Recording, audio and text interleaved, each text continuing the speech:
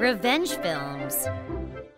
As the cherry blossoms bloom to celebrate the coming of spring, I was going to join my boyfriend of three years hand in marriage. Originally, we planned to get married and have the wedding next fall, but my fiance's grandparents were getting weak, so we decided to do it early while they were still healthy. I had four months left until the wedding, and I was out for some coffee with three of my friends. Good thing you've been growing your hair out. What does that mean? Oh, you know, you look so much better in a wedding dress with longer hair. That's why a lot of brides grow out their hair before their wedding. My hair has always been long. I wasn't specifically growing it out for the wedding. I had naturally curly hair, and it was just easier to control for me when my hair is longer. And I could just tie it in a ponytail if I'm feeling lazy. And a little bit of drying time kept my hair under control this way. I had to cut it shorter when I was job hunting back in college, but I've been growing it out ever since. It took me four years to grow it this long. I was planning on cutting it a little shorter before the wedding, though. I didn't want to worry about my crazy hair that day, so I was just planning on using a wig. When I told my friends that, they tried to stop me. No, your hair is so pretty. You should try setting your own hair instead of using a wig. Yeah, plus with that length, you can try all kinds of hairstyles. By all means, get a trim, but it took you so long to grow it out. Don't make it short again. They all gave me advice. I appreciated the input, and I was rethinking how I should proceed. When my friends suddenly looked in my direction like they saw a ghost or something, they all started screaming at the same time. Huh? What? That moment, I felt something cold brush the back of my neck and heard a snip right next to my ear. One friend had her hand over her mouth. Another friend was frozen in place with a glass of water in her hand. And my other friend had a freaked out look on her face. Run. My friend managed to stutter those words as she reached out her shaking arm towards me. What's going on? It seemed like I was the only one that was confused, but I could tell by my friend's reaction that something terrifying was happening right behind my back. I slowly turned around in fear, and I saw a girl that I'd never seen before standing there with a pair of scissors in her hand. We met eyes, but her eyes looked like someone had drained her soul. She just stood there, staring at me, without even blinking. I got the chills. I looked down and saw a pile of hair on the ground. What is this? I brushed my hand against the back of my head and felt an unfamiliar rough prickly sensation on my hand. It seems that this girl had cut off a big chunk of hair off the back of my head. I sat there in shock for a moment as the girl's expression crumbled and she broke down in tears. I couldn't keep up with everything. I just stared at the pile of hair on the ground and thought, oh no, my hair is all over the ground of this coffee shop. I gotta clean it up. Wait, do I need to go get this fixed up like right now? I bet my hair looks crazy right now. All kinds of thoughts were racing through my mind, but at the same time, it felt like a heavy boulder was sitting on top of me. I wanted to, but I couldn't move. I was completely useless, so my friends got the girl for me. As she bawled, she took her beanie off and apologized. I'm so sorry. I'm so sorry. She kept apologizing sincerely, and no one could say anything. I wasn't sure if it was some sort of illness she had, but, she had multiple bald spots on her head. The owner of the coffee shop called the police for us, and they arrested the girl. As the victims, we also accompanied the police to the police station to file a report and leave our statements.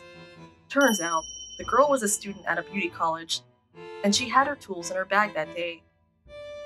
She was already an adult, but her parents were also called in because she was still a student. Her brother came instead of her parents, though. Upon observation, I had already figured that she was probably having problems at home.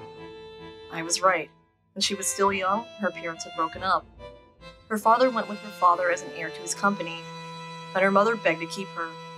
So she ended up staying with her mother. After that, her mother got remarried and divorced multiple times. She had experienced domestic violence from many of those men. So, from a young age, she had alopecia due to all the stress that she experienced. Her mother wasn't the type of lady to treat her daughter's condition, which made it get even worse. On top of everything else, she was bullied in elementary school for her condition, and she was mentally a wreck. After graduating high school, she left her mother and was able to get into beauty school with her father's help. But one day, she lost all her confidence when she thought to herself that there was no way that someone with a patchy head like hers could become a successful beautician. Just when she was depressed about her situation, she ran into us at the coffee shop and overheard our conversation. It depressed her even more to think that she would never be able to get married. And she pulled her scissors out of her bag and was cutting my hair before she even realized it herself. Moments later, when she got a hold of herself, she realized the severity of what she had just done. So that's the gist of what happened. And after realizing that the girl who was crying in front of me with the patchy head was also a victim in life, I couldn't get myself to press charges.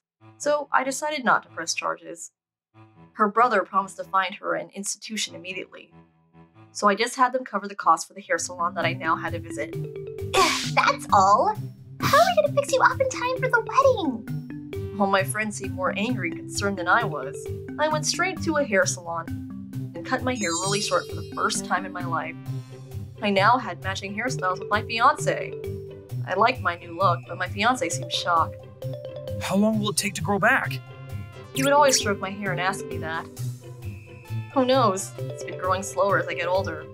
And while it's short, I'll have to fix it up often to keep it under control. So I'm thinking like 10 years, give or take.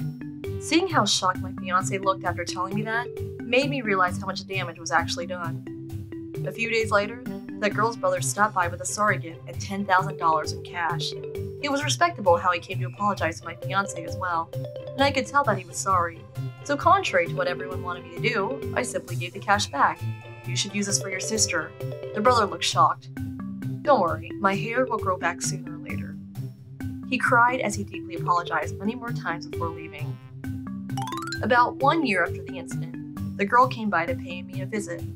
She had recovered after spending some time in a clinic and asked me to accept her compensation once she was graduated and got a job. I reminded her that it was unnecessary, but she insisted, so I made a proposal. Alright, well, what about this then? You owe me a free haircut. My hair is pretty crazy, so you better be prepared. Of course. She accepted happily. And after that, she graduated, and after three years of training, opened up her own beauty salon. And as promised, I got my free haircut. I've been keeping my hair short ever since that incident, by the way. I'm sorry for ruining your long hair. She apologized that she cut my hair. But frankly, I would have never been able to experience short hair if it wasn't for that incident. So I just looked back on it as a good opportunity to experience something new. She looked relieved when I told her that. I love the way she fixed my hair. So ever since, I'm a regular at her hair salon. How was today's video? If you enjoyed it, please subscribe, like, and leave a comment. Stay tuned for more.